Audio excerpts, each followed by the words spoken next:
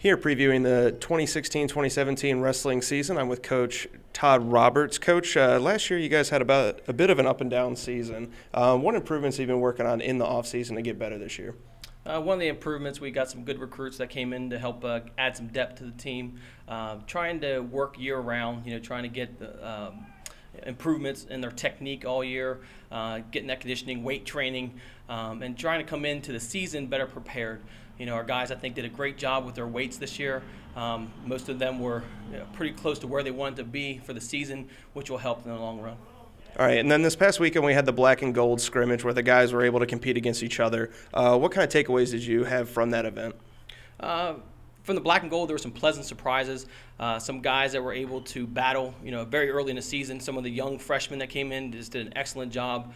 Um, we have a couple guys on the team that came back to the team this year.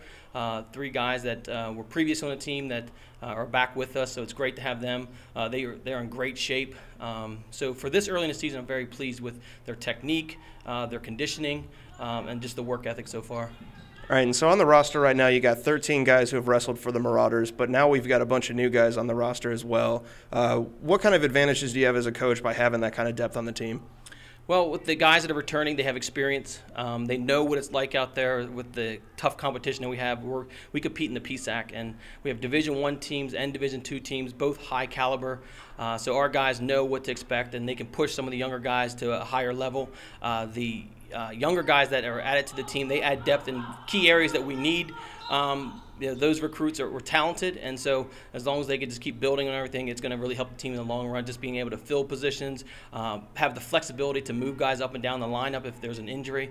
Um, but we're definitely very happy with everything we've seen so far. All right, and so lastly, we got the Washington and Jefferson Invitational this weekend. What are your expectations as the guys open up their season?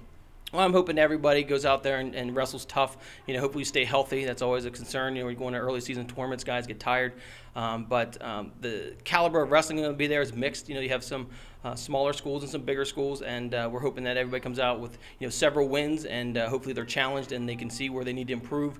Uh, we'll be doing some filming to watch those films to kind of find out uh, mistakes that we made and where we need to build on because you know the season's just a you know it's right on us, so it'll be here before you know it. All right. Thank you, Coach. Have a good season this year. All right. Thank you. Appreciate your time.